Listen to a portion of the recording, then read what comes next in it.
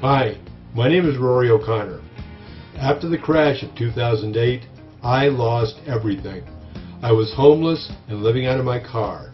I went into depression, and my way of coping with it was with drugs and alcohol. The DUI came next, along with a stay in jail. I couldn't spend any time with my grandkids or do any of the things I had planned for my golden years. My life was over. I thought about suicide, but I was given a copy of How Is That Working? Well, it had an immediate impact on me. When I read Robert's story about his life and what he had to do to overcome, oh, my problem seemed so insignificant and my life seemed better. The more I read, the more I knew my life was not over and I could rise like the phoenix out of my ashes and do something great. This book has saved my life.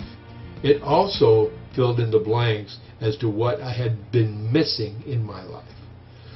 Since I read this magnificent book, I have made more money than I ever did in my career. Robert Hollis is a genius, and what he wrote in this book is the formula for how to live a long, happy, prosperous life. Since I read this book, my life has changed to one that is blessed with love, laughter, and a relationship with my family that keeps a smile on my face. I'm also able to make other people's lives better from what I learned by reading this book.